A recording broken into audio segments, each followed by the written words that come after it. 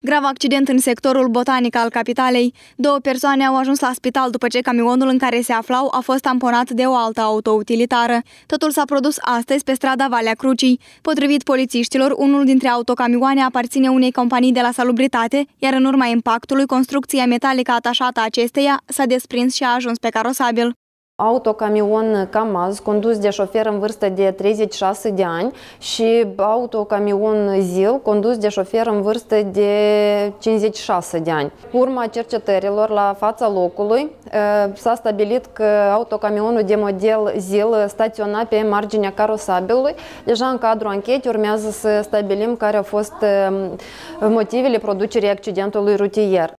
La fața locului a venit și o ambulanță care i-a transportat pe doi muncitori ce se aflau în autoutilitară de la salubritate la Institutul de Medicină Urgentă.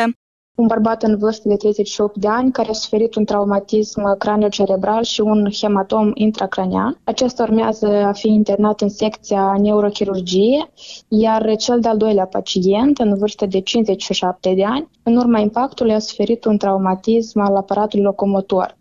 În dependență de gravitatea leziunilor cu care s-au ales victimele, oamenii legii vor stabili și sancțiunea pe care o va primi conducătorul auto care va fi găsit vinovat de producerea accidentului rutier.